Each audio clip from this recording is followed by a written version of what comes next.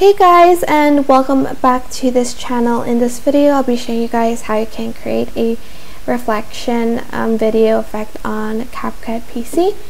So I'm just going to grab this video and kind of drag it down right about here and I'm just going to copy and paste that.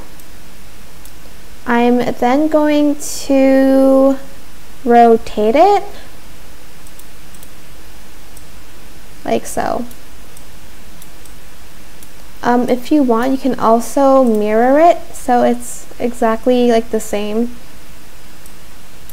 Then you are going to select the clip on top, go to cutout, and go to auto cutout.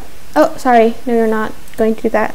Uh, you're going to go to mask, sorry, and you're going to go to split, and you're going to um, rotate the mask 180 degrees.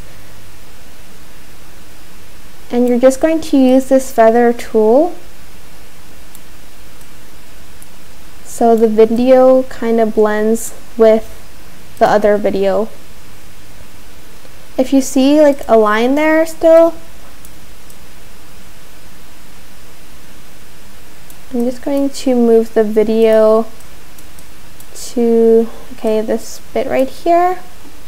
And then I will then add in a little bit of feather. And then I will move it a little bit like so.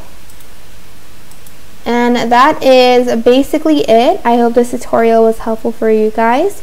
Don't forget to like comment share and also subscribe to this channel if you haven't done that if you have any questions, just leave it in the comment section down below and I will try my best to answer them all for you. Thank you so much for watching. Bye!